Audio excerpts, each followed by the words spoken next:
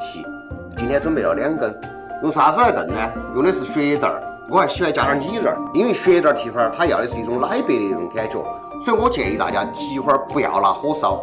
下水焯水之前呢，我们要把猪蹄子在中间给它筋给它挑断，下头呢，也说我们就开火。加滴点儿，就是有时候我们喊的黄酒或者料酒都可以哈。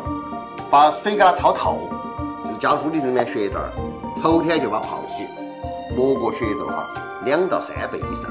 焯水的时间呢，大概就在十分钟左右。在这个十分钟里头呢，你要轻轻的把猪蹄子给它动一下。猪蹄子呢，我把那个焯了水以后呢，拿冷水给它洗了下哈。下头就是有时候炒考验耐心的时候到了，加猪毛，准备一碗水，慢慢的加，一根根的加。中间这个位置哈，我们一般是不要的，你也夹不到，所以直接把它切了。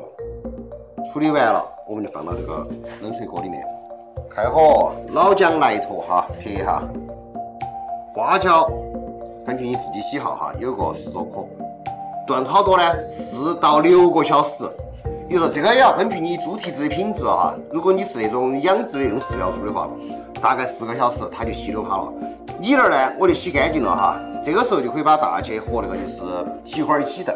开了以后关小火，然后说盖锅盖，先炖它两个小时。两个小时很快就到了哈。